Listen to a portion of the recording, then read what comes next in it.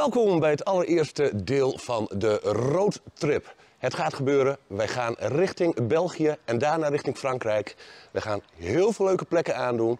Jongens, de auto is ingepakt. Geniet maar even lekker met mij mee van deze heerlijke video.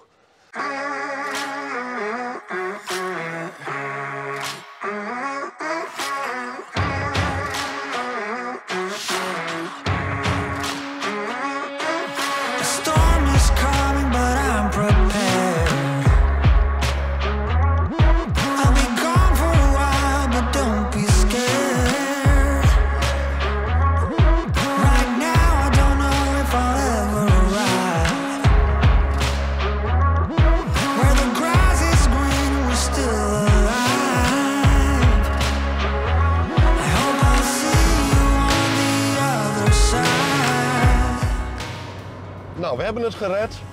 We zijn in België, de eerste landgrens over. Het is nu nog 55 minuutjes totdat we in het mooie Westerlo bij camping Het Hultje zijn. Jongens, ik zie jullie daar wel. Wij gaan even lekker genieten van dit Belgische uitzicht hier.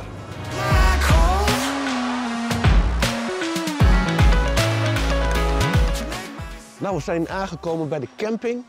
Ik ga nu even op zoek naar de receptie. En ik zie hier al heel wat terrasjes. Ik zie een leuk vijvertje. Het ziet er allemaal alleraardigst uit, moet ik zeggen.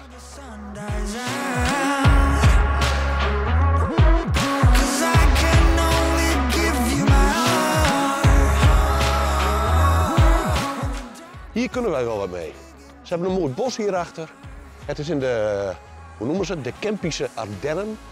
En eh, ik ga maar eens eventjes, eh, ja, wat ik al zei, de receptie opzoeken. En wij gaan onze prachtige, mooie, nieuwe vierpersoons opblaastent eens eventjes opzetten. Kijk jongens, ze hebben zelfs een heel omroepsysteem. Dit is prachtig om te zien. Er wordt gewoon omgeroepen wat voor post er allemaal is. En dit heb ik nog niet meegemaakt, maar dit is wel, eh, dit is wel weer grappig. En. België.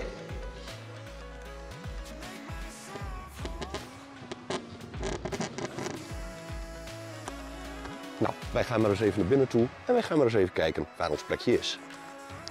Nou, het is tijd om de tent maar op te zetten. Ik eh, ben heel benieuwd hoe dit tentje gaat werken.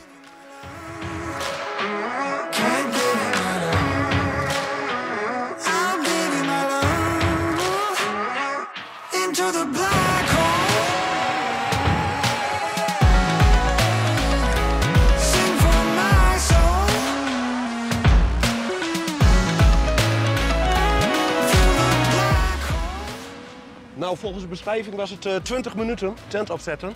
Eh, ik heb er een uur over gedaan. Het was ook niet zweten. Ik heb me kapot gezweten. Maar hij staat. Mooi tentje. Wij gaan maar eens even naar binnen.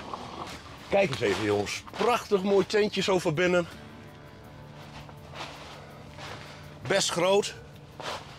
En hier een mooie, grote, koele slaapruimte. Oh, het voelt nu wel koel aan. Oeh, lekker hoor. Lekker, lekker, lekker, lekker, lekker. Oh, nou jongens, ik ga me even verder installeren hier. En eh, ik spreek jullie eh, straks wel weer. We moeten nog even naar de supermarkt. Bier halen. Nou, het hultje blijkt ook nog een beetje eh, pracht en praal te hebben van de Eerste Wereldoorlog, zie ik. Jongens, kijk maar eens even. Aan onze gesneuvelde helden. U kan hem op pauze zetten als je het even terug wil lezen. En dan zijn er eh, nog een paar kleine verhaaltjes over Hultje. Hier is een heel, eh, ja, een heel verhaal. En eh, zet hem gerust op pauze, kan je het even teruglezen. Maar het is best een, best een leuk dorpje eigenlijk. Ik vind het wel grappig. Je gaat door zo'n leuke boog heen en je komt uit bij de kerk. Even kijken. En daar is hij hoor. De kerk van het Hultje. Nou, het is hier weer al omgenat.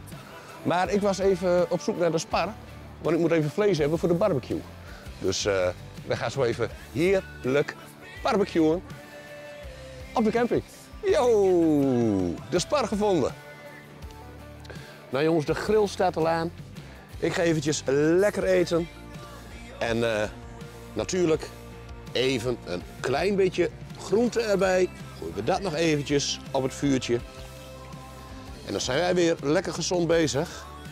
En ik denk dat ik hier morgen even lekker rond ga rennen in het hultje.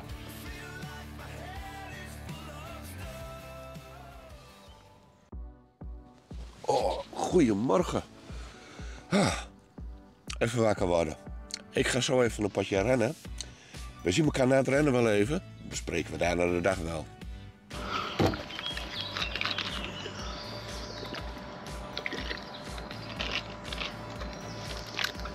En go!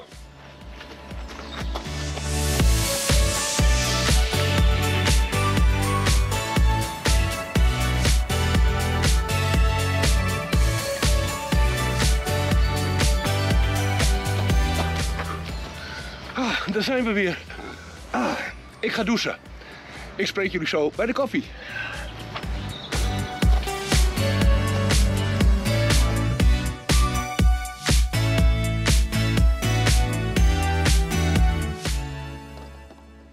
Heerlijk gerend, een heerlijk potje gedoucht. En we gaan zomaar eens even kijken waar we met deze gigantische hitte naartoe gaan. Het is nu eh, nog geen 10 uur. Het is al 23 graden. Het lijkt wel alsof ik al in Frankrijk ben, terwijl ik in het midden van België zit. Maar we gaan eens even kijken of ik vandaag even in Westerlo ga kijken. Misschien ga ik wel naar Antwerpen toe. Ik ga even kijken hoe ver dat eh, rijden is. Maar eh, we gaan in ieder geval weer een leuke dag ervan maken. Je zal het vanzelf zien. Eerst koffie.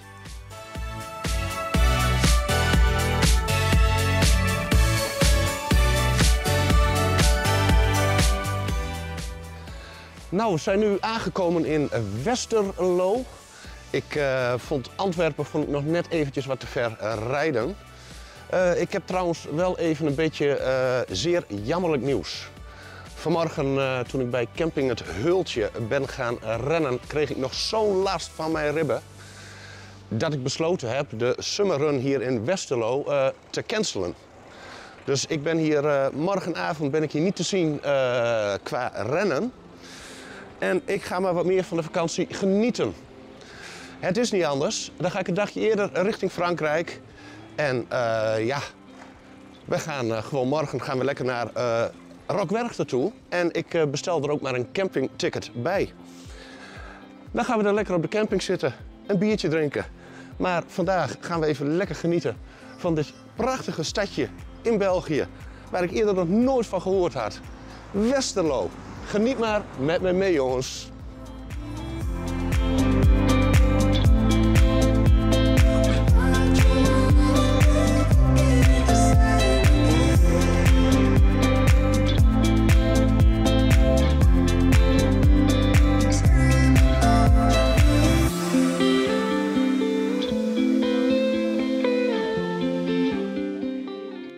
Misschien heb ik het niet begrepen. Misschien is het in Nederland niet normaal. Maar eh, volgens mij is het woensdag half twaalf smiddags. Ik had niet het idee dat dit een eh, grote stad was, maar wat een gigantische drukke markt. Dit gewoon op de woensdag op half twaalf. Ik zie dit soort dingetjes, zie ik in ons eigen kleine kikkerlandje eigenlijk niet. Maar eh, het is wel reuze gezellig. Dus we gaan er maar even van genieten en we gaan zomaar eens even een terrasje opzoeken. En we gaan nog even een beetje cultuur snuiven natuurlijk, want daar zijn we hier voor. Nou, geniet er nog even van jongens en eh, ik, doe, eh, ik doe hetzelfde.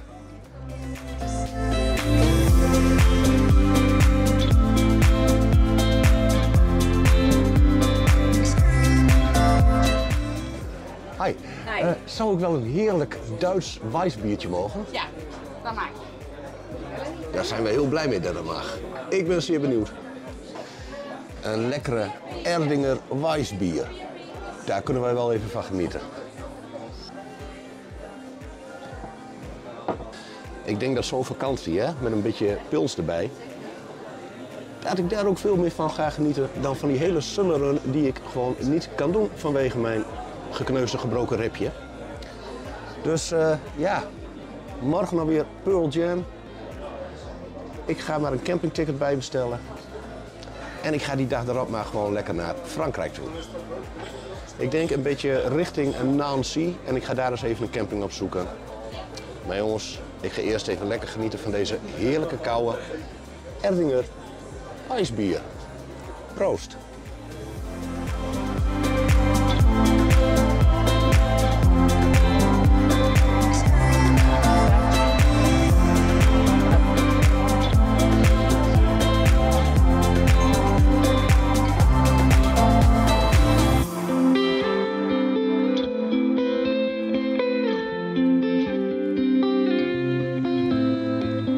Tja, en als je denkt alles in Westerlo gezien te hebben.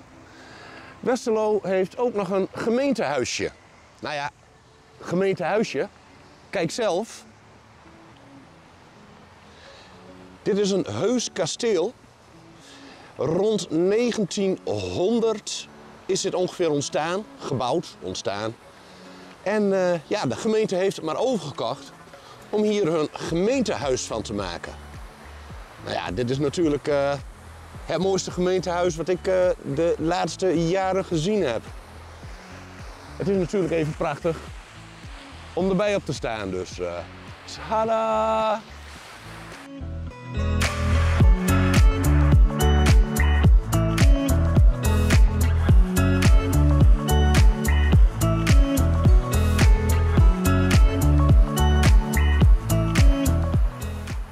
Ik ben zeer benieuwd wat er echt allemaal nog meer in Westerlo te zien is.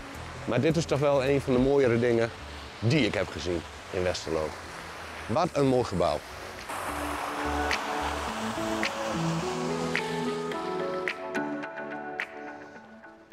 We zijn nu aangekomen bij de abdij van Tongerlo. Ik ga hier eens even naar binnen, want dit moet een prachtig mooie abdij zijn. Dit, is een, uh, ja, dit werd een klooster in de jaren 1100.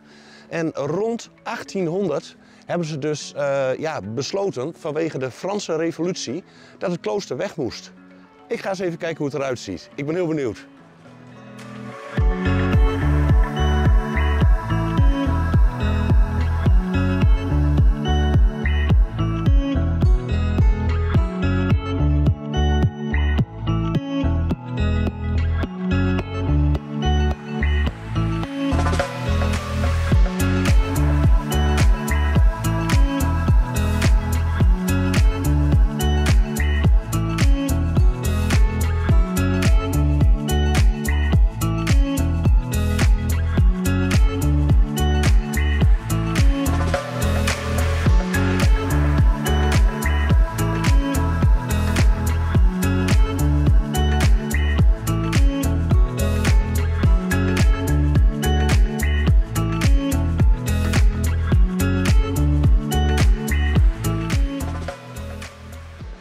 Nou, ik zit nog even in een uh, prachtige kasteeltuin. Ik heb een lekker biertje gekregen, de Vlierenfluiter.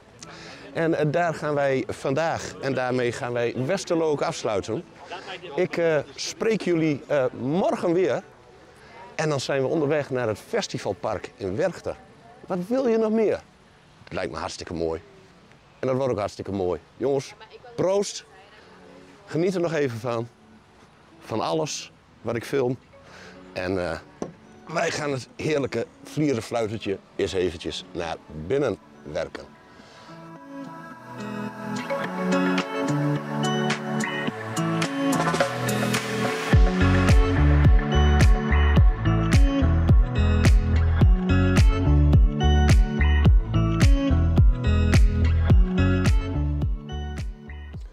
Er is nog één ding wat ik kwijt moet, jongens. Wat een schril contrast tegenover morgen. Morgen zit ik op het werksterrein met één grote bende aan lawaai.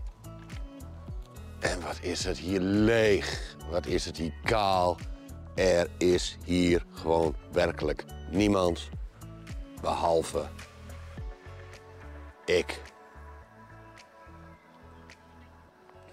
Ook hopen dat het in Frankrijk een beetje anders is. Tot morgen, tot Werchter.